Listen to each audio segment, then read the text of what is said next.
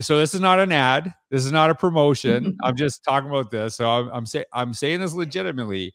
Canva is like probably you know people are going to be probably commenting on this because as soon as they hear the word Canva, they're all excited.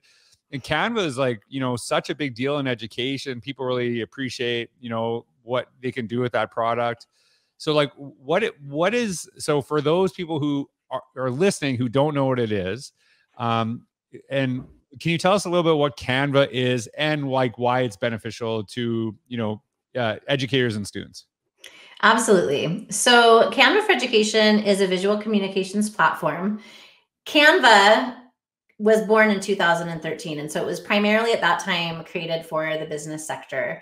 And then about two years ago, Canva for Education was born. And basically, they wanted all students, all educators to have access to Canva for Education for free. So essentially, you're getting all the bells and whistles of mm-hmm. Canva Premium at no cost to you as an educator, to you as a student. And so they will roster an entire district and bring all the staff students into that platform and you are getting all of the benefits of having integration with your single sign-on with your learning management system you're getting all of these premium features for free you also can just go to canvaforeducation.com and sign up for a free educator account if your district isn't rostered, and you can access all the premium right. Canva for Education features as well.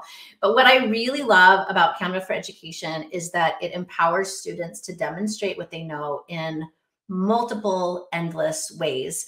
So students are able to create, they're able to collaborate with their peers, teachers are able to give that real time feedback you can make videos, you can make infographics, you can make book covers, t-shirt logos. In my culinary class, I mean, this was not available. Canva for Education wasn't available when I was teaching culinary arts, but I still had my students go into the basic pre-Canva for Education version when things were still like you had to pay for them because students would go in and make their recipes and their menus and their logos for their food trucks and they were loving it. And so now, I mean, thinking about ways that students can really get to uh, show what they know is is incredible. And there's also a lot of really cool features that are built into canva that i would i used to go elsewhere for. For mm-hmm. instance like a qr code creator.